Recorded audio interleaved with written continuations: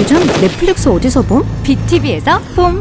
더 볼 게 많으니까 BTV 요즘 넷플릭스 어디서 봄? BTV에서 봄! 더 알뜰하게 보니까 BTV